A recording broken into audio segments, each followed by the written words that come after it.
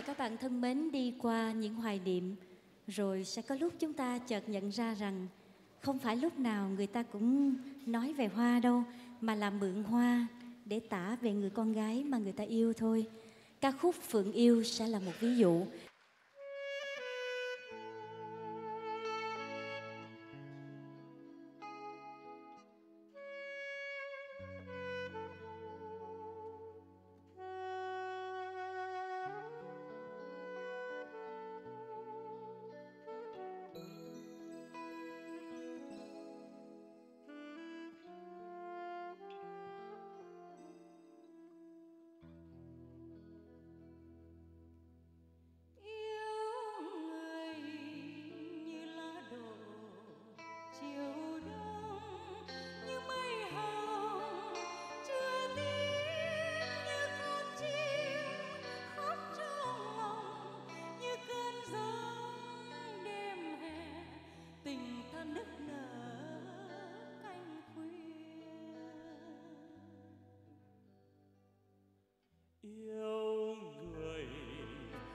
Suối buồn rừng sâu như con tàu say gió, như con run hướng lên trời, yêu chẳng sao vội vội làm sao nói được tình tôi.